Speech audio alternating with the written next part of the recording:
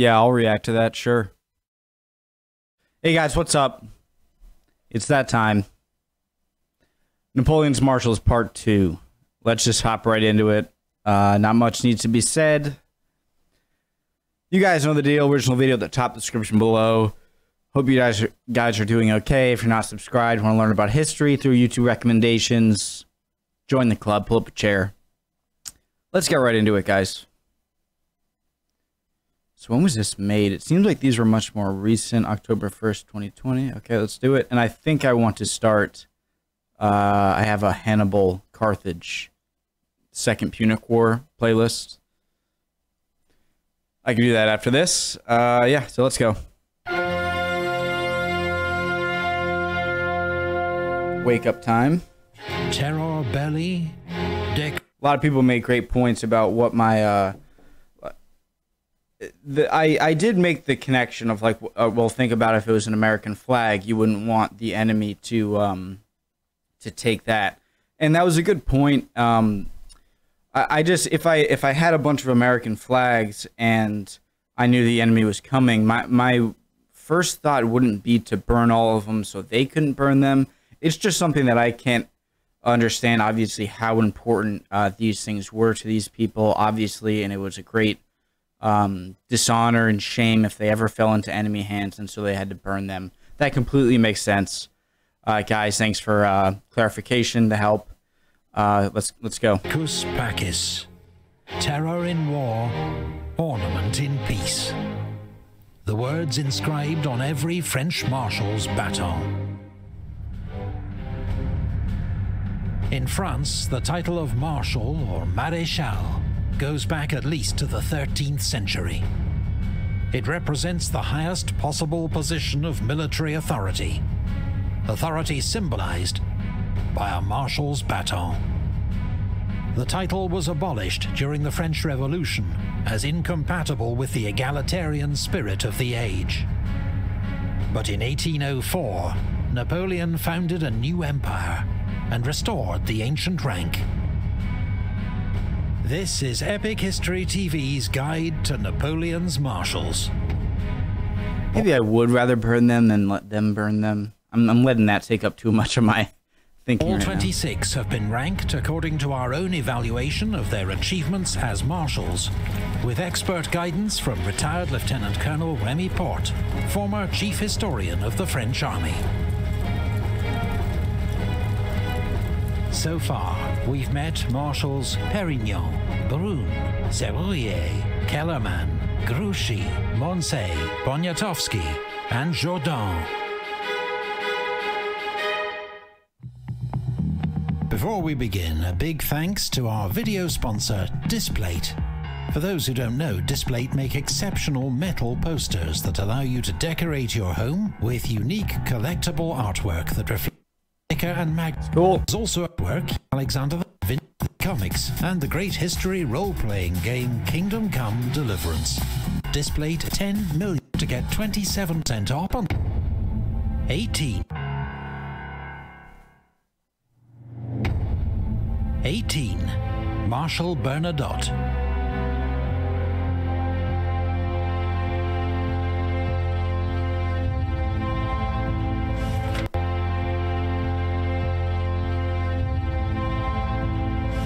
Bernadotte enlisted in the French Royal Army aged 17 and proved a model soldier, rising to become the senior non-commissioned officer in his regiment in just 10 years. The French Revolution and active service opened the door to rapid promotion. He was made an officer, and thanks to exemplary leadership and courage, rose in rank from captain to general of division in a single year. Not even Napoleon rose through the ranks as quickly.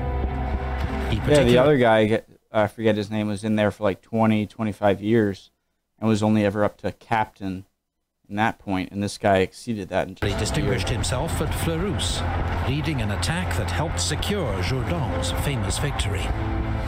As a professional soldier and ex-sergeant major, Bernadotte insisted on the highest standards of discipline and conduct from his men. He even fought a duel with his own chief of staff, whom he accused of taking a bribe. In 1797, discipline and conduct from his men. He even fought a duel with his own chief of staff, whom he accused of taking a bribe. In 1797, Bernadotte was transferred to Italy, where he served under Napoleon's command for the first time. By this stage, both men had brilliant reputations, but despite a good first meeting, a clash of styles and jealous rivalry soon emerged between them.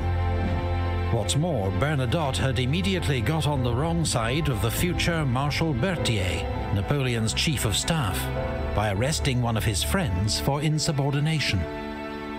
In 1798, Bernadotte married Napoleon's ex-fiancée, Désirée Clary. Her sister Julie was married to Napoleon's brother, Joseph, meaning Bernadotte was now family. But when Napoleon asked Bernadotte to support his coup of 18 Brumaire, he refused, though he did not actively oppose it. Napoleon suspected Bernadotte of conspiring against him, but the Clary sisters helped to keep the peace.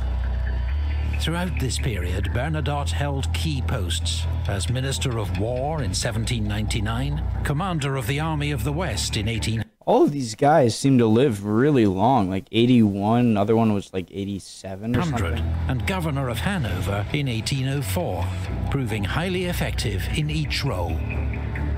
That year, Napoleon made Bernadotte a marshal, and he commanded First Corps at the Battle of Austerlitz, playing a relatively minor part in the Emperor's great victory.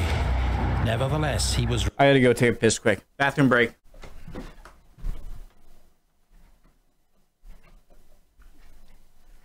Okay. Rewarded with the title in the Emperor's great victory. Nevertheless, he was rewarded with the title Prince of Pontecorvo. Wait, sorry. Playing a relative marshal, and he commanded First Corps at the Battle of Austerlitz, playing a relatively minor part in the Emperor's great victory. Nevertheless, he was rewarded with the title Prince of Pontecorvo. But his relationship with Napoleon remained difficult. In 1806, as Napoleon took on Prussia, Bernadotte was blamed for failing to support Marshal Davout at the Battle of Auerstedt and was nearly court-martialed. Though Bernadotte partly redeemed himself with a vigorous pursuit of the beaten Prussians.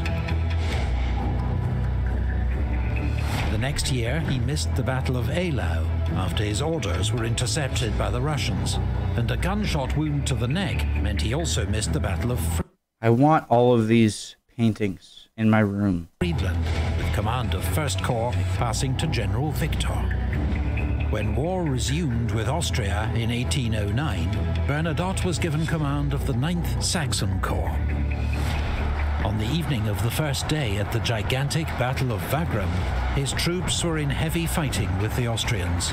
But dressed in white, like the Austrians, they came under friendly devastating fire. friendly fire, panicked and routed. Not the best. Uh, the next morning, Bernadotte pulled his men back without orders, and when they later retreated choice. again, he and the Emperor exchanged sharp words on the battlefield. Bernadotte then issued a proclamation to the Saxons praising their conduct. On the day of 5th of July, 7,000 8,000 of you had pierced the center of the enemy army and moved to Wagram in spite of the efforts of 40,000 men supported by 50 cannons. And outraging Napoleon. Bernadotte was sent in semi-disgrace to the Dutch coast to oversee the defeat of a major British landing at Walcheren. But another triumphant proclamation, effectively publicizing the strength of his forces, further infuriated Napoleon. In an unlikely twist of fate in 1810, Swedish politicians invited Bernadotte to become Crown Prince of Sweden. The current king was old and childless, and Bernadotte was a proven general and administrator, member of the French imperial family, and well regarded by Swedish army officers who remembered his fair treatment of Swedish prisoners three years earlier in Pomerania. Wow. Napoleon. Imagine that having so much respect for even when they had uh, your enemies uh, or your country's soldiers were treated so well by this person, and you have respect for them, even though they're on the uh, enemy team at the time. Was at first bemused, remarking that he could think of other marshals who were better qualified, but he did give his assent. Napoleon, the Napoleon Classic. Even when Bernadotte made it clear that as Crown Prince he would pursue Swedish interests, he was true to his word Three years later, yep. with Napoleon on the ropes after his disastrous invasion of Russia, Crown Prince Bernadotte brought Sweden into the Sixth Coalition and declared war on France. With his insider knowledge, he helped the Allies to devise the Trachenberg Plan, a strategy for defeating Napoleon in Germany by avoiding battle with Napoleon himself and targeting only his marshals. Wow, wow, wow, wow you know, smart, great idea. Obviously, he has the insider knowledge. That must have been a huge asset. In September, Bernadotte defeated former comrades Marshals Oudinot and Ney at Dennewitz. Five weeks later, he played a major role in the great Allied victory at Leipzig. That was a crazy episode. Would prove the most lasting of any of Napoleon's marshals. The royal house of Bernadotte sits on the Swedish throne to this day. Really? Wow. Bernadotte was labeled a traitor throne. Great, great, great, great grandson. To this day. Bernadotte was labeled a traitor by Napoleon's supporters, though not by Napoleon himself. Did you guys know that the I think it's President Tyler? Think. Uh,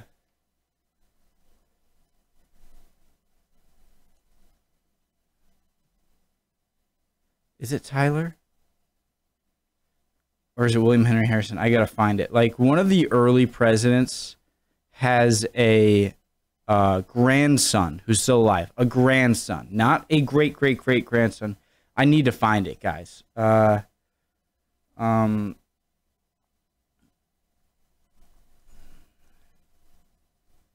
I bet it'll be right here.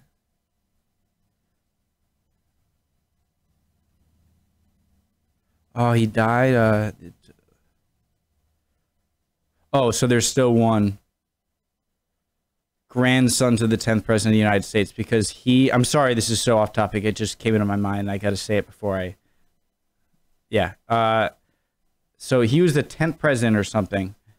Yeah. So 10th president, John Tyler. You guys can skip forward if you're not interested in this. Press the arrow key forward until uh, I'm back to the reaction. I, I just really got to find this.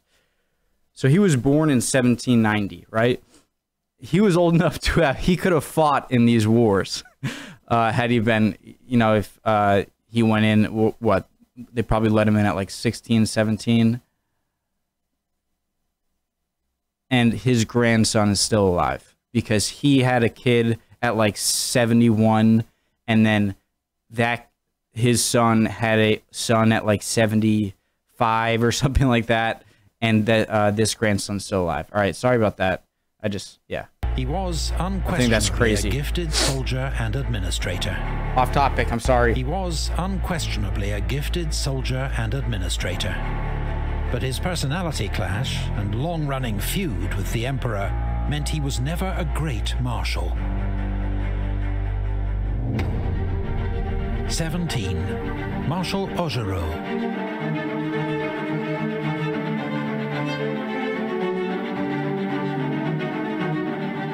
Augereau had, by his own account, an eventful younger life, serving at various times with the French, Russian and Prussian armies, deserting or being kicked out of all three in dubious circumstances.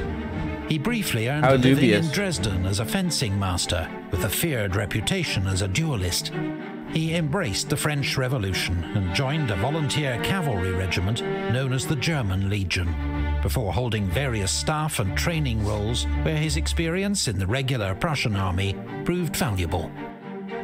Promoted to general, Augereau served in the eastern Pyrenees, where his flair for tactics and bold, decisive action helped win a series of victories over the Spanish. Later serving in Italy under Napoleon, Augereau proved a highly effective divisional commander The future emperor's reports were glowing. Strong character, firmness, energy, has the habit of war, liked by his men, and lucky. In 1796, Augereau played a leading role in Napoleon's victories over the Austrians at Castiglione and Arcole. In fact, the painting of Augereau's heroism at Arcole Bridge long predates the more famous version by Vernet, in which Napoleon takes center stage, and is an even greater work of fiction. Augereau's standing among fellow generals, however, was damaged by an enthusiasm for looting He's got one hell of a schnoz there. Nice. to rival General Brune, while others were irritated by his loud and boastful manner.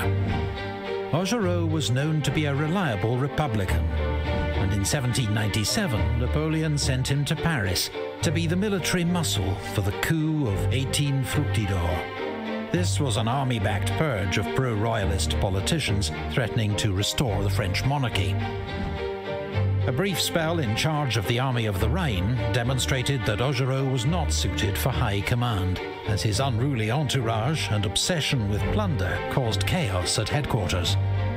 As a So Republican, he's the opposite of Suchet. I know you guys are getting on me for expecting Suchet. All right, I get your point. General Marshal, okay? Augereau initially opposed Napoleon's seizure of political power, but soon Ah. sensed which way the wind was blowing and pledged support. Created a marshal in 1804, status, wealth, and declining health served to mellow Augereau's behavior. He commanded 7th Corps in the 1805 campaign, but was held in reserve and missed the great battles of Ulm and Austerlitz. Following year, he was in the thick of the fighting at Jena, leading 7th Corps against the Prussian southern flank. At Eylau in 1807, Augereau was so ill he had to be strapped to his horse, but led 7th Corps into battle in terrible winter conditions. Ordered to battle in terrible winter conditions. Imagine seeing that amount of soldiers that close up on battlefields. Ordered to advance, his corps lost its way in a blizzard, was mown down by Russian guns, charged, and virtually destroyed. Augereau himself was hit and crushed under his own horse. He returned to France to recover, but was never the same again. His energy and zeal were gone. During Napoleon's war in Spain, he was sent to replace Saint-Cyr as commander of the Army of Catalonia.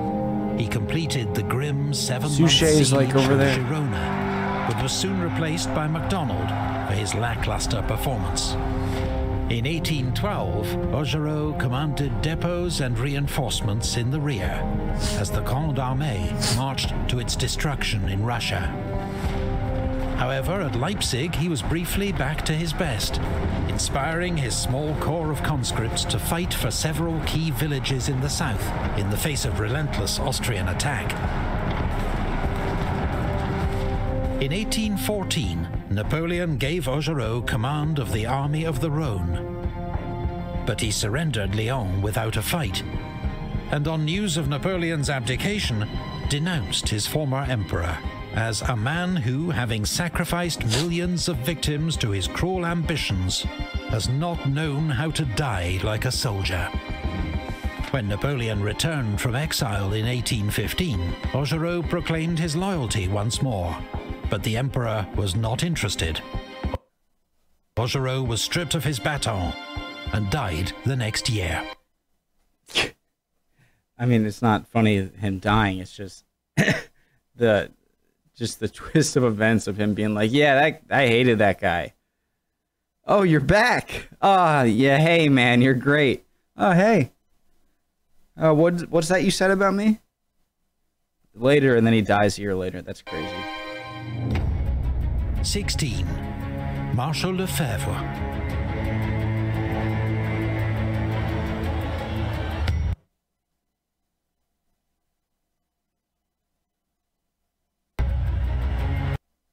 With Realtor.com's flood zone feature, we found the perfect home in an extremely dry climate. Because too much water will kill us. But we're safe. Francois Lefebvre was a sergeant with 16 years' service in the elite Garde Française when the French Revolution broke out. When the Guard was disbanded, he became an officer in the Paris National Guard and received the first of many wounds protecting the royal family from an angry mob. Every inch the soldier, the Revolutionary Wars brought Lefebvre opportunity for active command and rapid promotion. In just two years, he rose from captain to general, establishing a reputation as a formidable divisional commander, a good tactician, brave, energetic, and attentive to the needs of his men. His chief of staff, the future Marshal Soult, acknowledged that he learned much from Lefebvre's example. In 1799, Lefebvre commanded the Paris military district. Not much impressed by politicians, when Napoleon asked him to support a coup, he was all for it, declaring, Yes, let's throw the lawyers into the river. In 1804, Napoleon made Lefebvre an honorary marshal. Honorary because Napoleon assumed Lefebvre would prefer a quiet life in the Senate after a decade's active service with the scars to prove it. But he'd underestimated Lefebvre, who pleaded for a frontline role. Yeah, why would why would he see that? I mean, obviously, he was such a great soldier. He's not just doing it so that he can have time off in his later years or whatever. And uh, I don't know why Napoleon wouldn't think that this guy isn't just uh, born a soldier and wants and does what he does because he loves fighting, I suppose, or loves war, battle. So the emperor gave him command of the Imperial Guard Infantry for the Jena campaign. The next year, Lefebvre commanded the siege of Danzig, inspiring the troops of 10th Corps by leading one counterattack in person. After the successful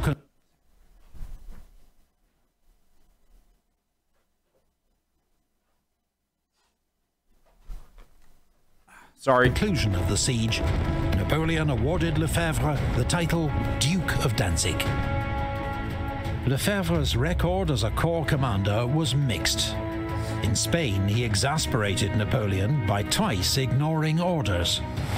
But in 1809, when Archduke Charles of Austria launched a sudden attack on Bavaria, Lefebvre's Bavarian 7th Corps was crucial in slowing the enemy advance, until Napoleon arrived to take charge.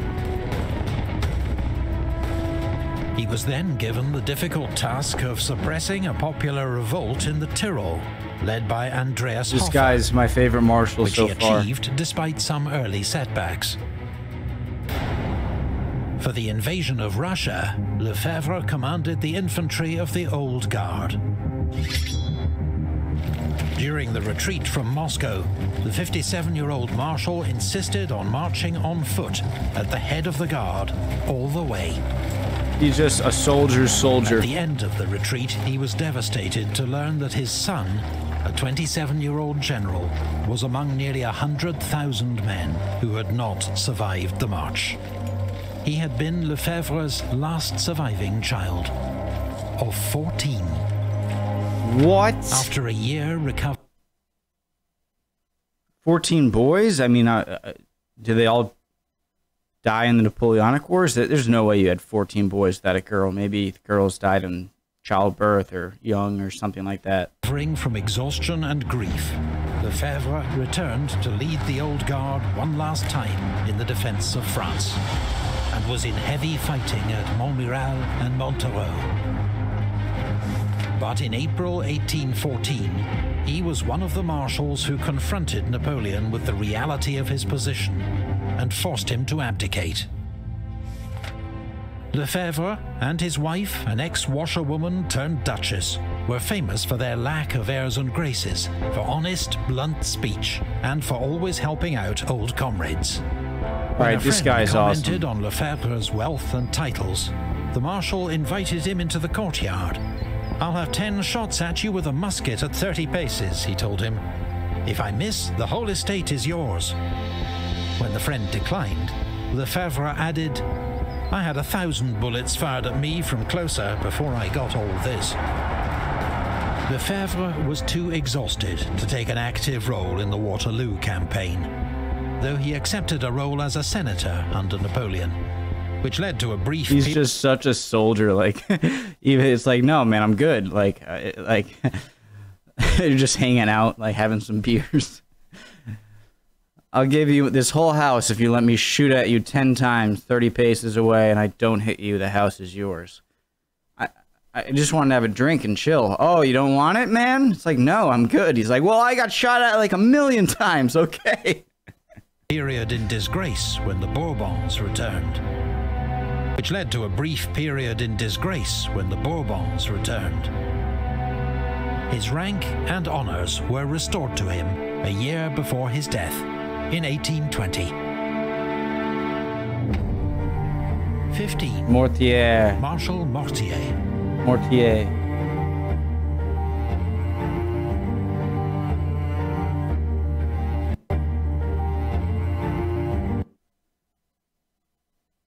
Jesus. Th- the three best of my generals were Devout, Soult, or Devoe, Soult, and Bessières. Mortier was the most feeble. Edouard Mortier was from a prosperous middle class background in northern France. When the French Revolution began in 1789, he Killed an assassination attempt. volunteered for the National At Guard, 67. a new middle class militia charged with preserving order and defending against counter revolution. When war broke out with France's neighbours, Mortier's unit was sent to the front. Standing six foot four, Mortier was conspicuous for his height and bravery, being wounded twice and winning praise from his commander, the future Marshal Lefebvre.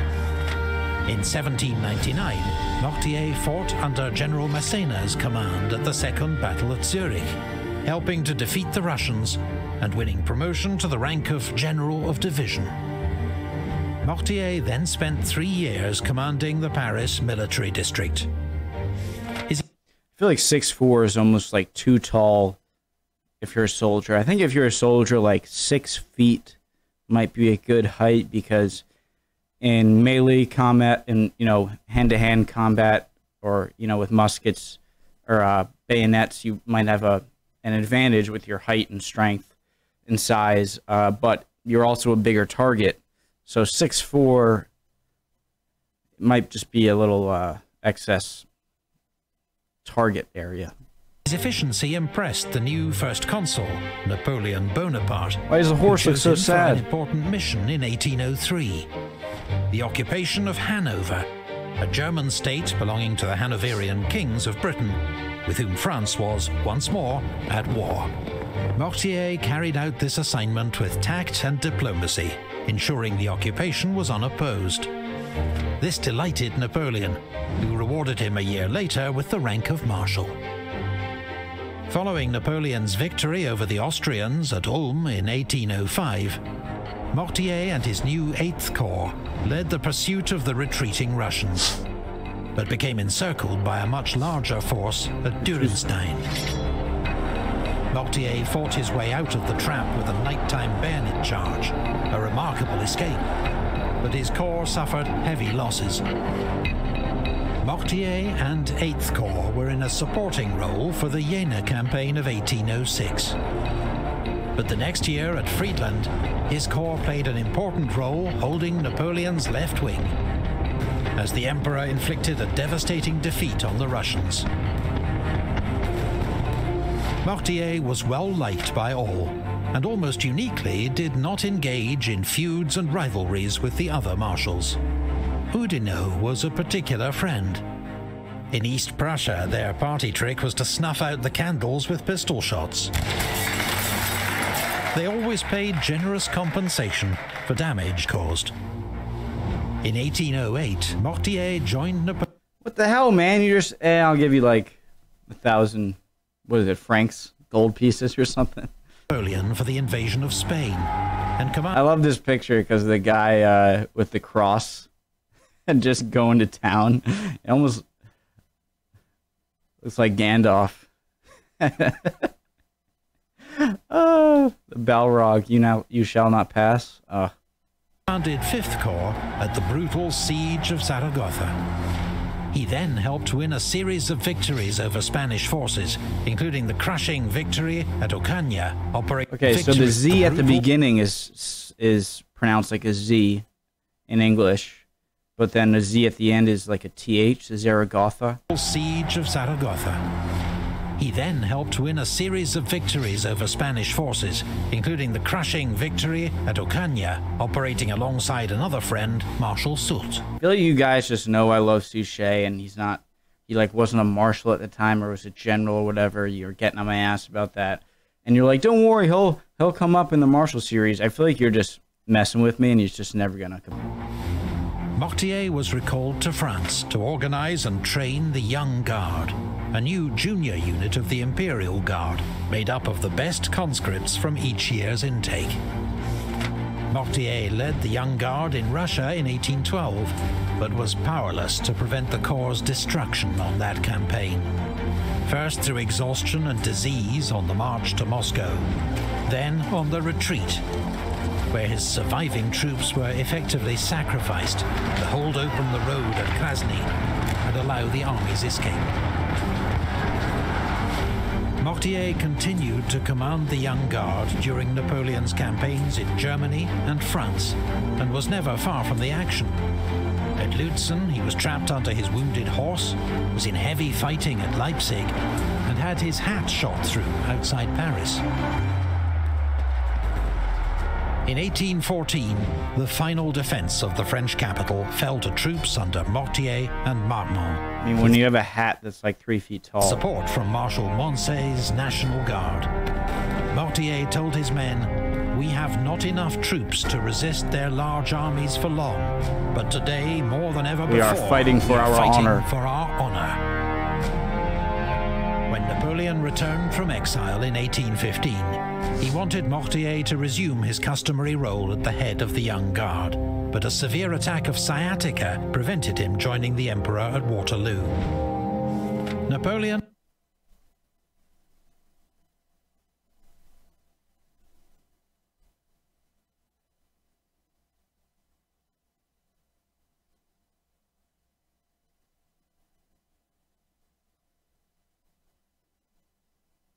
Okay never regarded Mortier as suitable for major independent command. Attica prevented him joining the Emperor at Waterloo. Napoleon never regarded Mortier as suitable for major independent command, but his loyalty and conduct were always beyond reproach. He went on to serve the restored monarchy as ambassador to Russia and briefly minister for war. In 1835, he was riding beside King Louis Philippe in a public parade when an assassin opened fire with a homemade multi-barreled gun. The king received a minor wound, but Marshal Mortier public parade when an assassin opened fire with a home King Minister for War. In 1835, he was riding beside King Louis Philippe. In Okay, I was wondering, I was like, why did it say he was killed at uh, by an assassination attempt because if it was an assassination for him, you wouldn't say he was killed by an assassination attempt. You would say he was assassinated, but he was he was killed from the fire that was meant for uh, King Louis. Okay. In a public parade, when an assassin opened fire with a homemade multi-barreled gun, the king received a minor wound, but Marshal Mortier and 17 others were killed. 17 others. 17 others. 17 others. How did he kill 17 other people? Gun. When an assassin opened fire with a homemade multi-barreled gun. A homemade multi-barreled gun. received a minor wound, but Marshal Mortier and 17 others were killed. Give, give that assassin a job in the uh, army technology department because he has a good gun. How do you kill that 14. many? Marshal Marmont.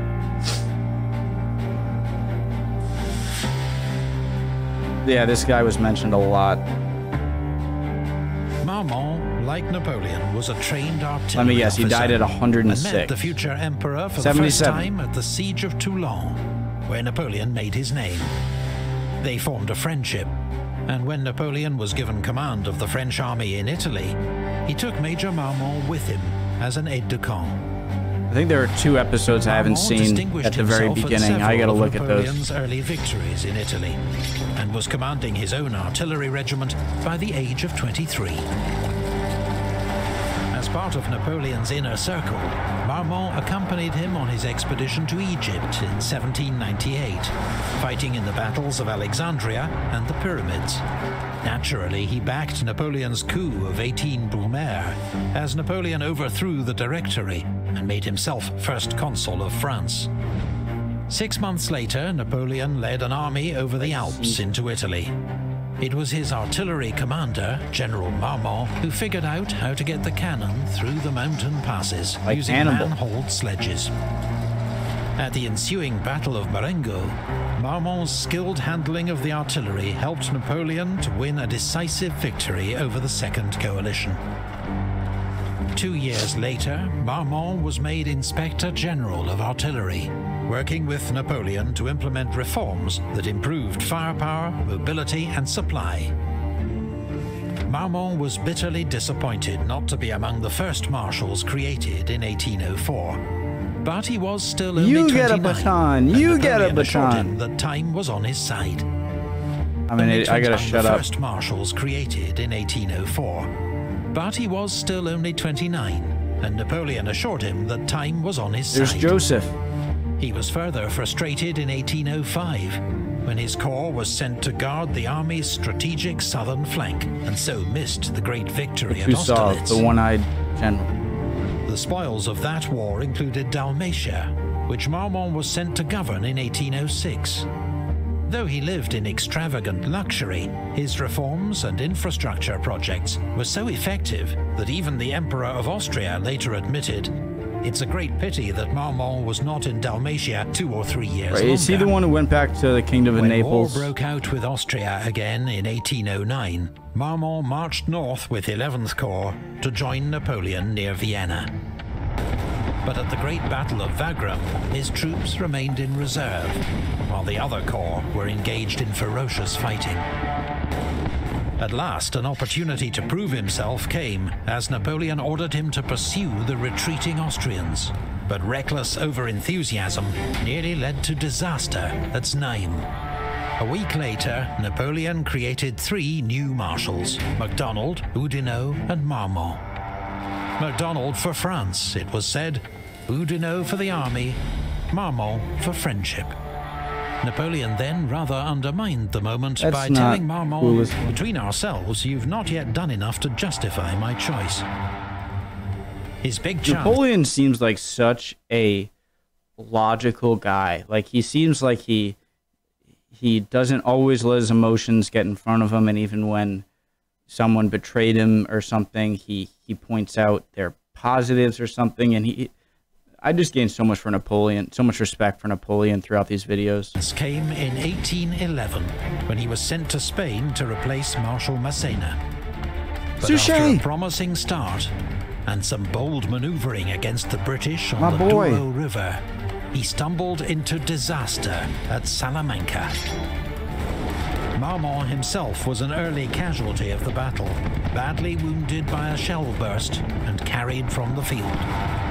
As I always forget that casualty doesn't mean death. It It means death or injury or anything that takes you out of battle. After convalescing in France, Marmont was back with the Grande Armée in 1813 as Napoleon battled to save his empire.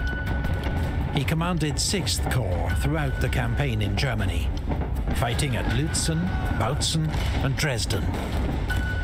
At Leipzig, he held the northern sector with skill and determination, making Blücher's Prussians pay a high Leipzig price was a crazy episode. Marmont played an important role in Napoleon's That one and the retreat from Russia might have been my two favorites. 1814 defense of France, shadowing Blücher's movements along the Marne River and guarding the road to Paris. But by now he was showing signs of exhaustion and disillusion. At the Battle of Laon, he allowed his corps to be surprised by the enemy, with heavy loss. Napoleon's stinging criticism may have been the moment that ended Marmont's loyalty.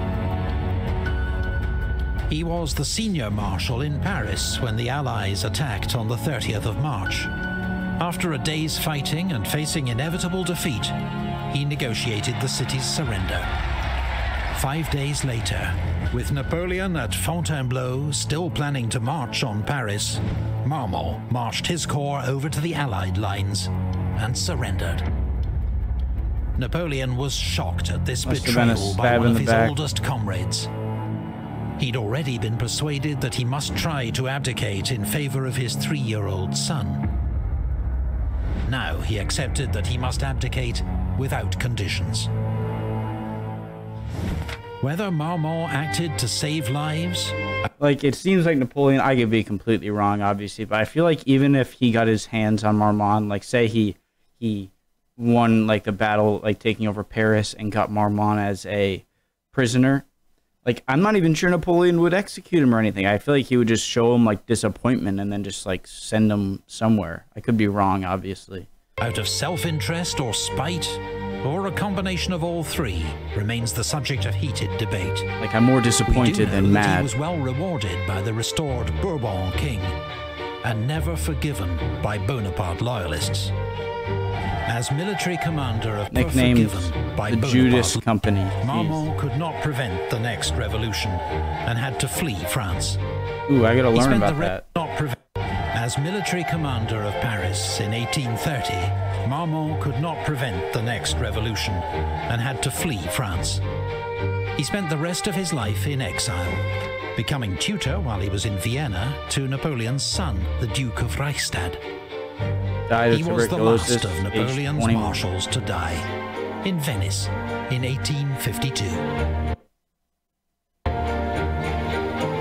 If you go look at my TikTok, I have some videos of, uh, or just on YouTube of, I think it's so cool seeing uh, early photos of people. They were uh, fighters in the American Civil War, uh, talking on video, very grainy, obviously, in like 1920, and it's just crazy to see photos of old people.